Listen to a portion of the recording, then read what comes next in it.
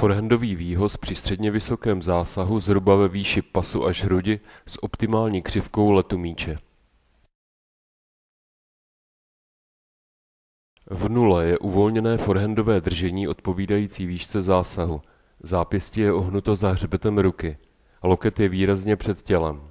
Pravá paže je téměř natažena. Plocha výpletu je otevřena a směřuje k bodu zásahu míče.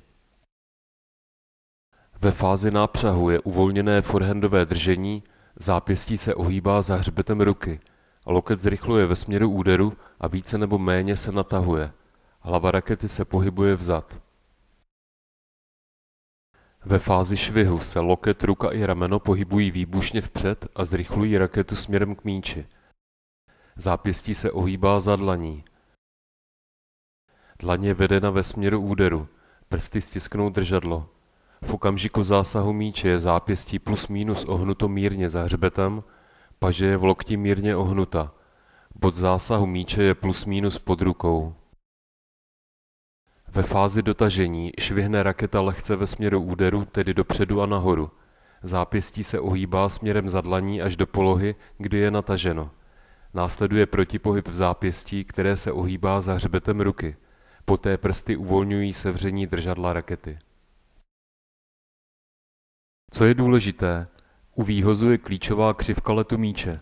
Optimální je taková, která donutí soupeře k odehrání úderu v blízkosti zadní čáry a v pohybu vzad. Je-li křivka příliš nízká, protihráč zasáhne míč v loupce hřiště.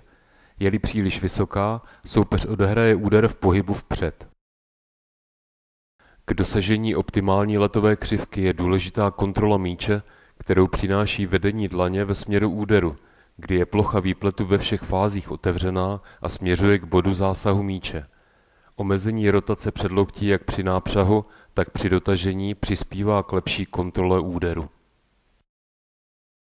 Obranný forehandový výhoz při zásahu u podlahy. Cílem obraného výhozu při zásahu míče hluboko a nízko po cítí je získat čas k návratu, k čemuž je třeba zahrát úder vysoko ke stropu haly a k zadní čáře. Obranný výhoz se provádí delšími pohyby ve všech úderových fázích, jak při nápřahu, švihu i dotažení.